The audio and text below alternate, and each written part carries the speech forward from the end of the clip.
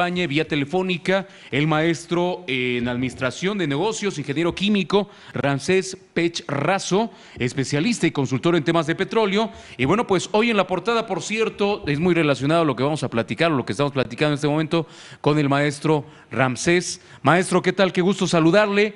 Pemex enfrenta nuevas dificultades. ¿Nos puede decir cuáles son estas?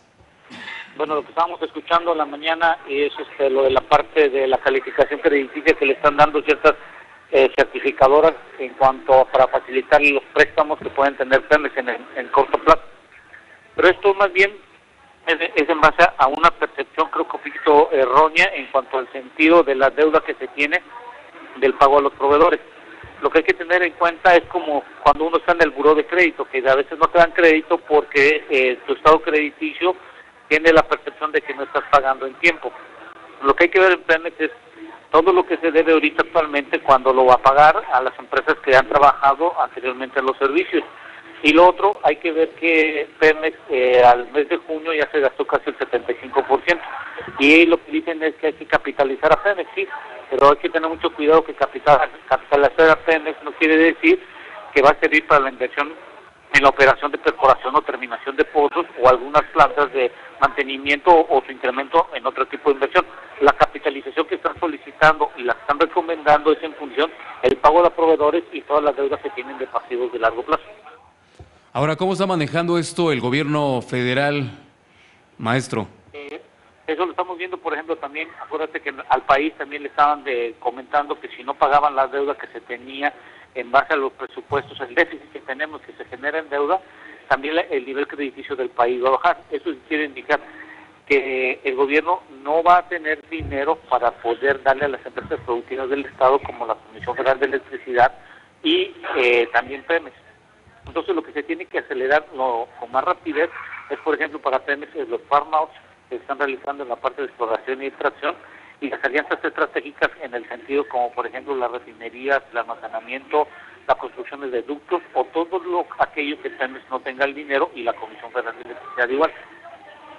Ahora, ¿por qué, ¿por qué se ha presentado estas, estas situaciones con Pemex? ¿Por qué sigue esta situación, maestro?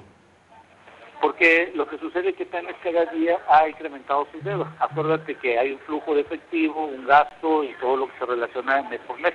Y acuérdate que Pemex proviene su dinero de inversión para mantener su operación y la producción que tiene viene del presupuesto de ingresos que se le asigna como una inversión.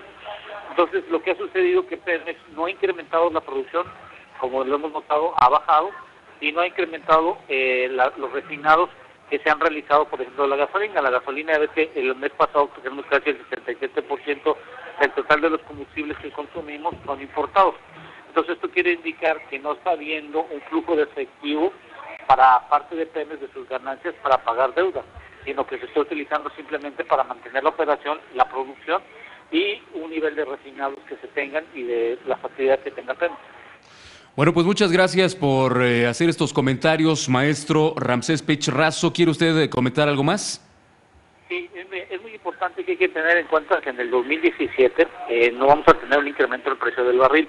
Hoy lo vimos en la mañana que supuestamente el día anterior habían subido los precios del barril y ahorita con los indicadores que presentó de las reservas que tienen y el almacenamiento que tiene Estados Unidos está bajando.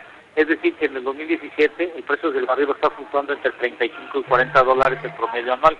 Entonces, no esperemos que haya un incremento de actividad en exploración y extracción. Lo que sí va a haber es un incremento en cuanto a mantenimiento de la producción y reparaciones de pozos. En las economías, como por ejemplo de Tabasco, Campeche, eh, Tamaulipas y la parte de Veracruz, donde se va a ver un incremento en la parte de mantenimiento de la producción. Pues muchísimas gracias. Le mandamos un fuerte abrazo. ¿Dónde anda en este momento, maestro? aquí regresando de, eh, Tampico. Muy bien, pues aquí estamos a sus órdenes, le mandamos un fuerte abrazo y eh, le estaremos eh, llamando la próxima semana para conocer más acerca de estos temas del petróleo. Bueno, que tenga bonito día. Que tenga muy buena tarde, hasta pronto. Pues eh, estos temas muy interesantes, muy importantes. Cada semana tenemos el comentario, por supuesto, del máster eh, Ramsés Pech Razo, especialista y consultor en temas de petróleo. Pemex se enfrenta a dificultades. Así viene en la portada del día de hoy.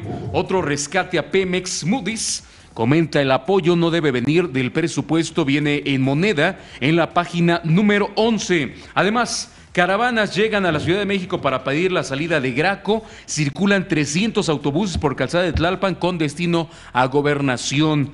Eh, bueno, pues es, uno, es algo que tenemos ahí en Metrópoli, en la página número 15. Y finalmente en la página número 3, Jorge Castañeda sugiere reforma política electoral antes del 2018, que no sea un sistema monopolizado por la partidocracia, es lo que explica. Y si usted quiere ver la nota, está exactamente en la página número 3, es donde usted puede darle un vistazo y por supuesto eh, conocer más acerca de nosotros, informarse oportunamente aquí en el punto crítico. Ha sido un gusto el que nos acompañe el día de hoy. порой